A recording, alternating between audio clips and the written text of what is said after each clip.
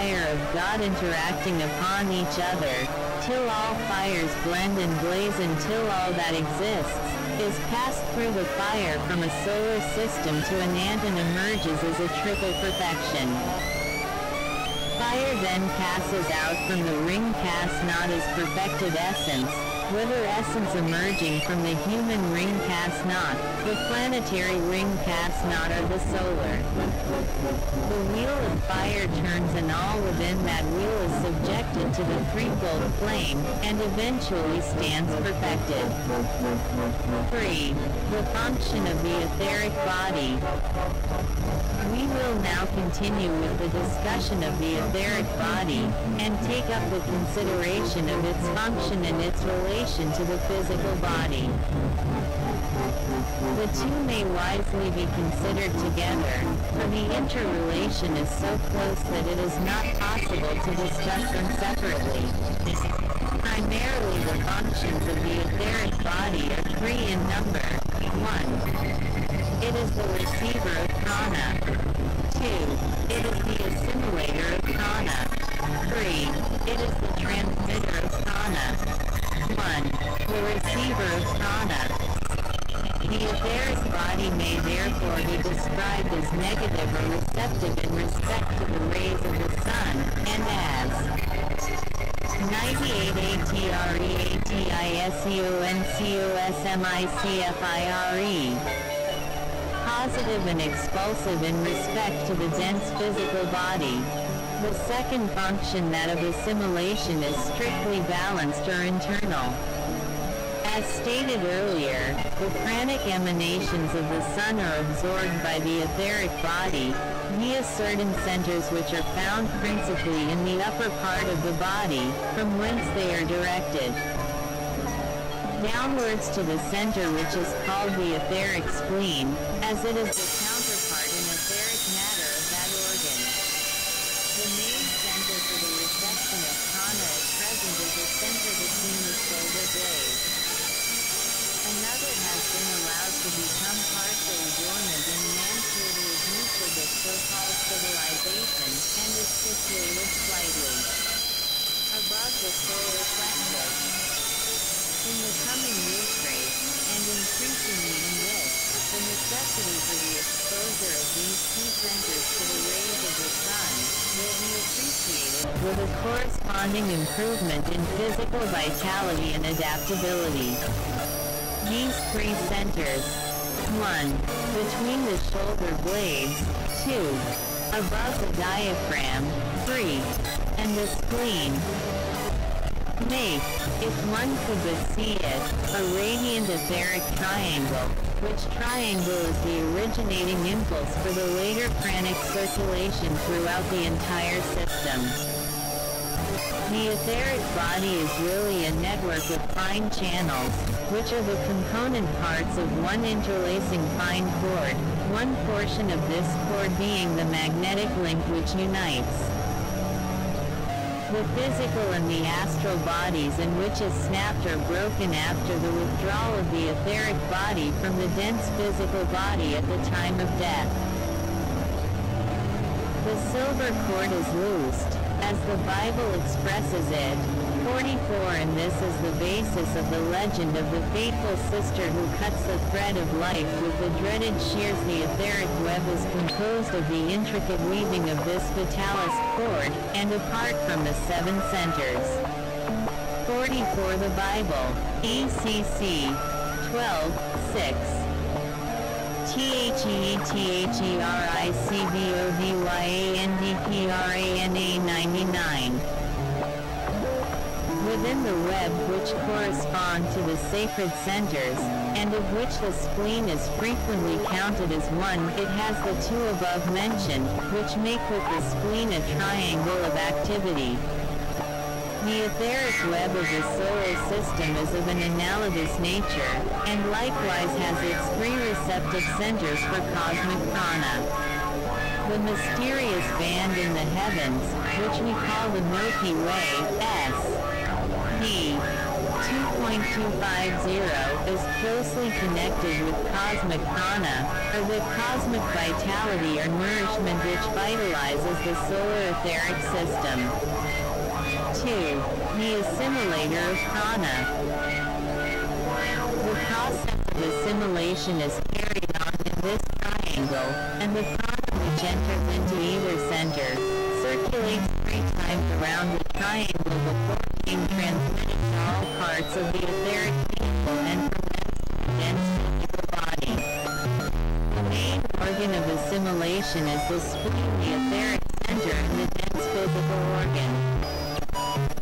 The vital essence from the sun is cast into the etheric and is subjected to a process of intensification or devitalization, according to the condition, healthy or not, of that organ. If the man is in a healthy state the emanation received will be augmented by his own individual vibration, and its rate of vibration will be keyed up before it is passed on into the physical spleen, or it will be slowed down and lowered if the man is in a poor condition of health. Three centers are in the form that all centers take, of saucer-like depressions, resembling somewhat the appearance of small whirlpools, and which draw within their sphere of influence the currents that come their way. The centers should be pictured as whirling vortices with a closely woven threefold channel passing from each center to the other, and forming an almost separate circulatory system. This finds its point of departure for 100 ATREATISEOF Cosmic Fire. The entire system at the further side of the screen to that at which the prana entered. The vital fluid circulates through and between these three centers three times, before it finally passes out from them to the periphery of its little system. This final circulation carries the prana, via the fine interlacing channels, to every part of the body, which becomes entirely impregnated by these emanations, if it might be so expressed. These emanations find their way finally out of the etheric system by means of surface radiation. The pranic essence escapes from the circumference of its temporary ring pass not as emanative human prana, which is the same prana as earlier received, plus the peculiar quality that any single individual may convey to it during its transitory circulation. The essence escapes, plus individual quality. Here again can be seen the correspondence to the escape of all essences from within any ring pass not when the cycle has been completed. This matter of the etheric body is of a very practical interest, and when its importance is better realized, men will attend to the distribution of prana within the body with closer attention, and will see that the vitalization of the body, via the three centers, proceeds unhindered. The subject has necessarily to be handled in a superficial manner, and only outlines and scattered hints can be given.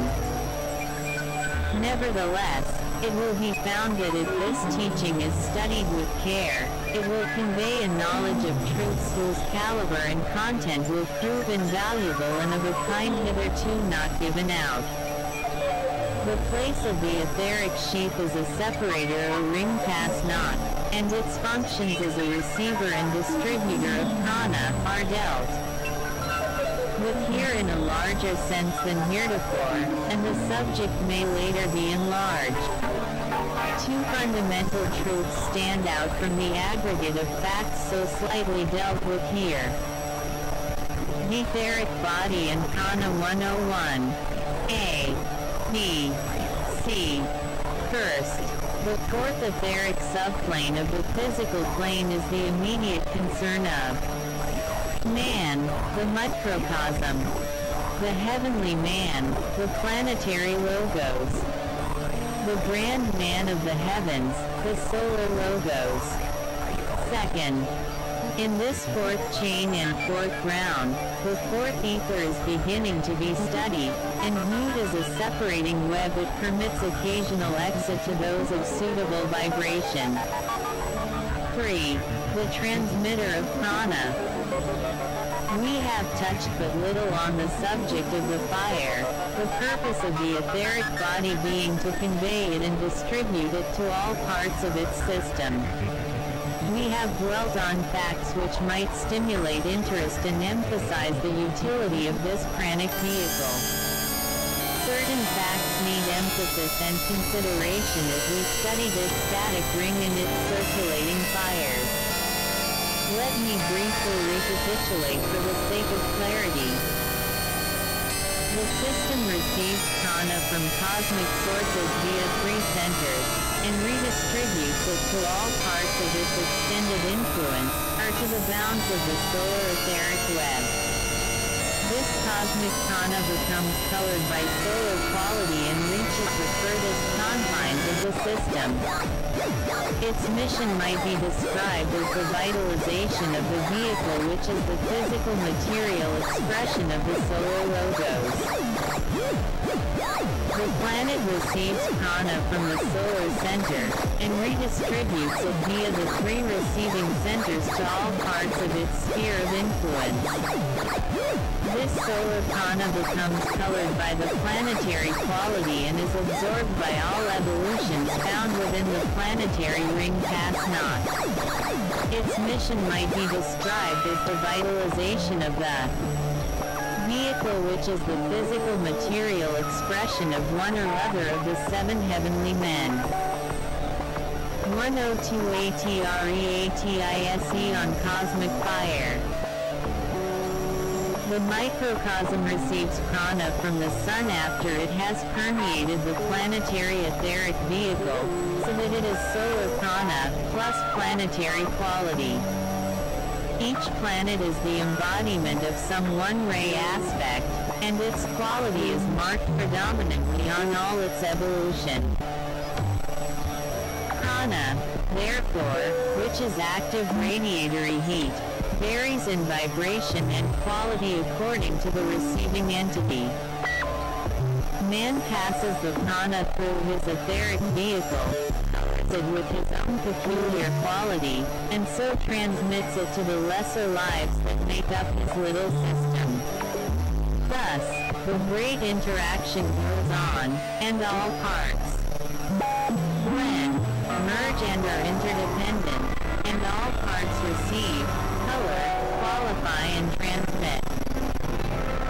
An endless circulation goes on that has neither a conceivable beginning nor possible end from the point of view of finite man, for its source and end are hid in the unknown cosmic bound.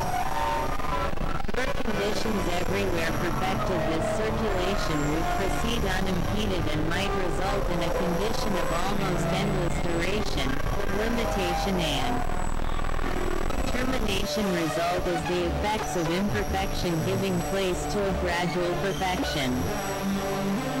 Every cycle originates from another cycle of a relative completeness, and will give place ever to a higher spiral, thus eventuate periods of apparent relative perfection leading to those which are still greater. Greater cycle is the blending, as we know, of the two fires of matter, latent and active, and their merging with the fires of mind and spirit till they are lost from sight in the general flame. The fires of mind and spirit burn up matter and thereby bring about liberation from the confining vehicles.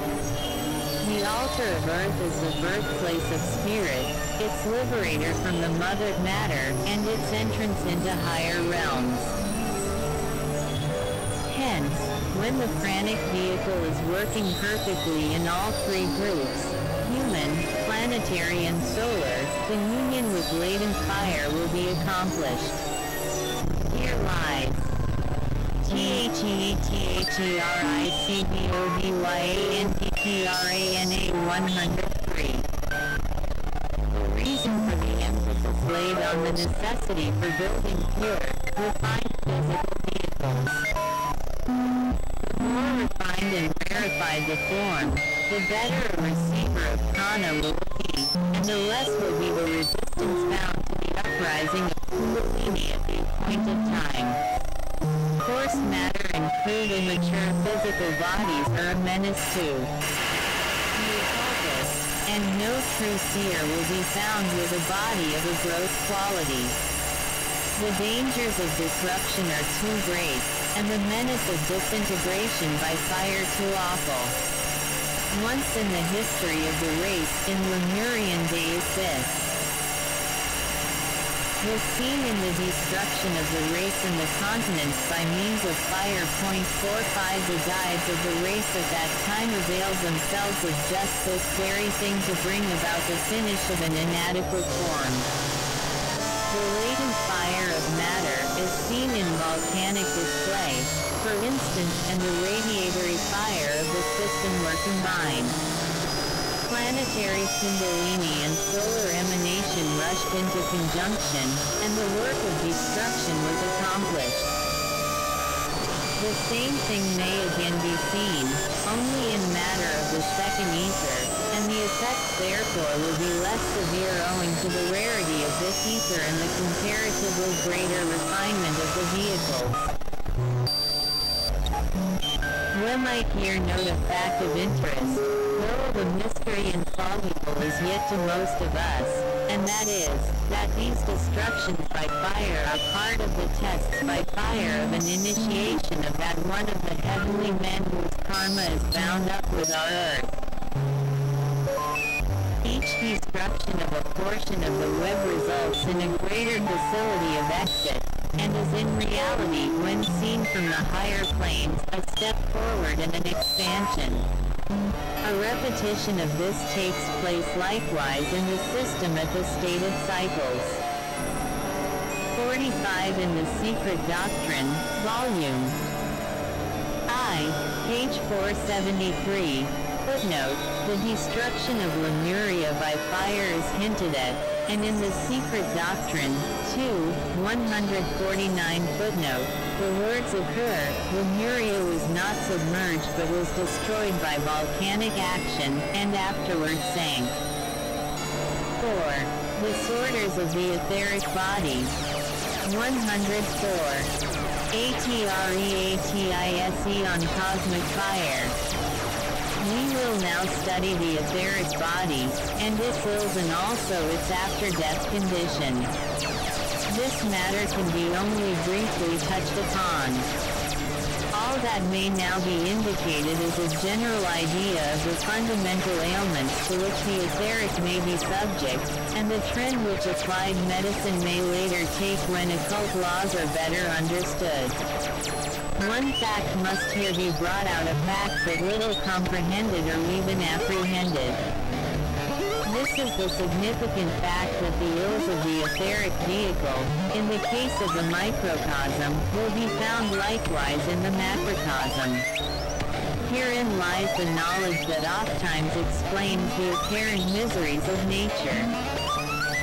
Some of the great world evils have their source in etheric ills, extending the idea of the etheric to planetary conditions and even to solar.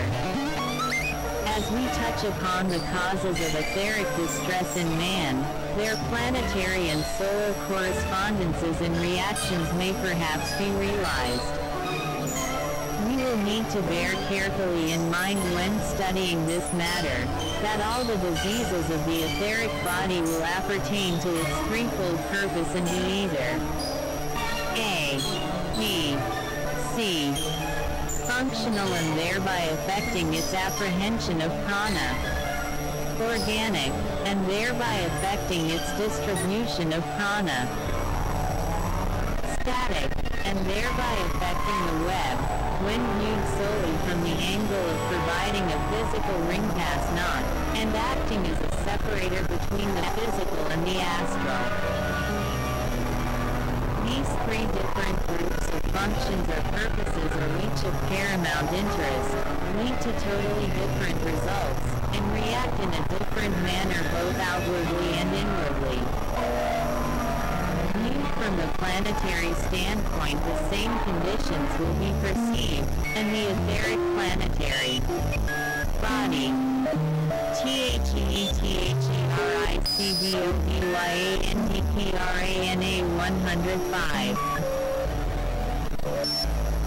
which is fundamentally the body in the case of the sacred planets, of which the Earth is not one, have its functional disorders, which will affect its reception of prana, will suffer its organic troubles which may affect its distribution, and those disorders which permit of trouble in the etheric web, which forms the ring pass not for the involved planetary spirit.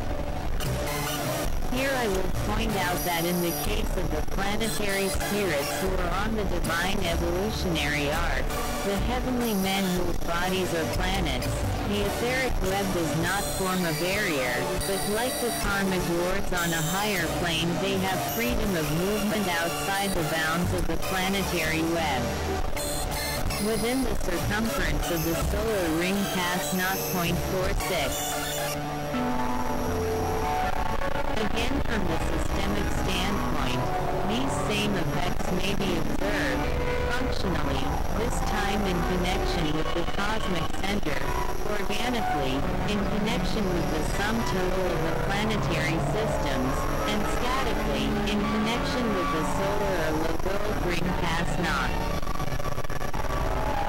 Let I now, for purposes of clarity, take up these three groups separately and briefly touch upon them and hint, for more will not be possible, at methods of cure and of adjustment. Microcosmic functional disorders. These have to do with the reception by man, via the necessary centers, of the pranic fluids we must always bear in mind, and thus keep the distinction clear, that these emanations of prana have to do with the heat latent in matter. When received and functioning through the etheric body correctly, they cooperate with the natural latent bodily. 46 The planetary spirit is another term for the logos of our planet, one of the seven spirits before the throne, and therefore one of the seven heavenly men. He is on the evolutionary arc of the universe, and has passed many stages beyond the human. The planetary entity is on the involutionary and is a very low-grade entity. The sum total of all the elemental lives of the planet. 100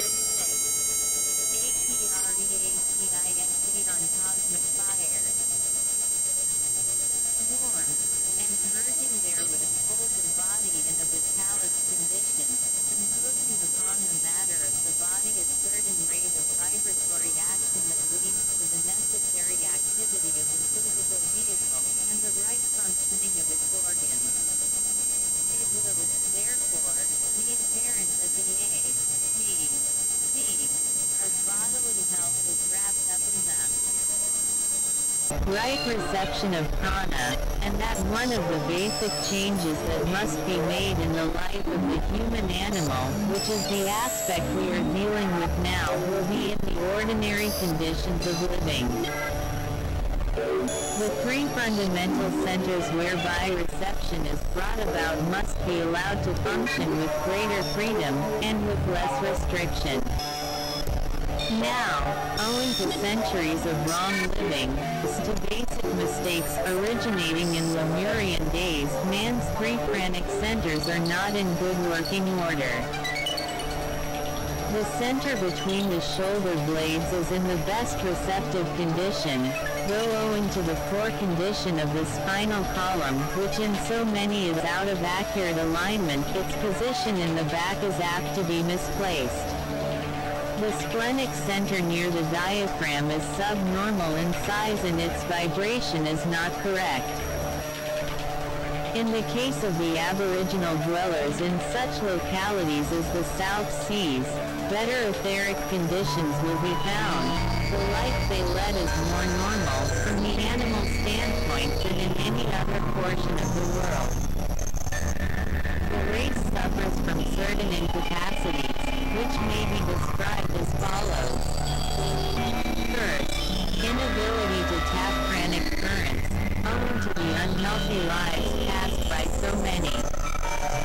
This involves the cutting off of the source of supply, and the consequent atrophying and shrinkage of the receptive centers.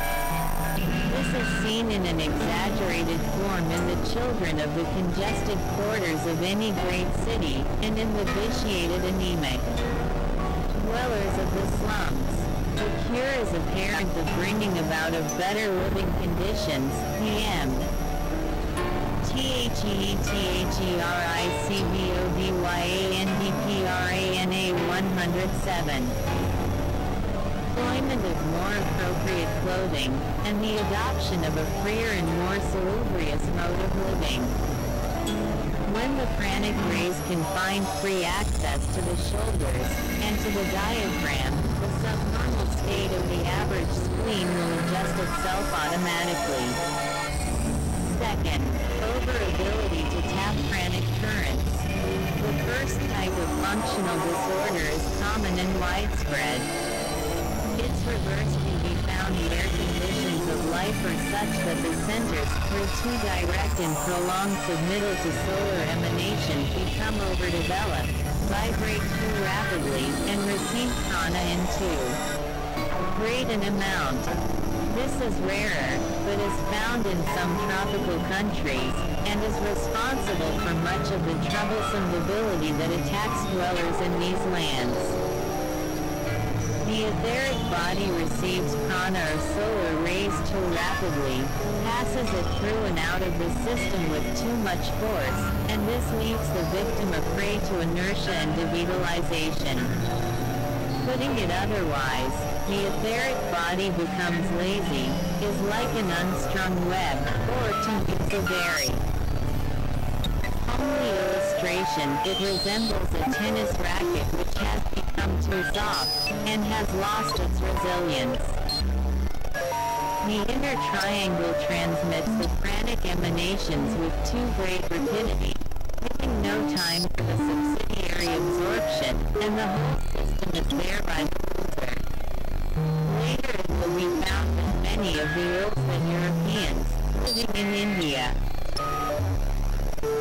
fall thereto, originate in this way, and by attention, therefore, to the spleen, and by wise control of living conditions, some of the trouble may be obviated.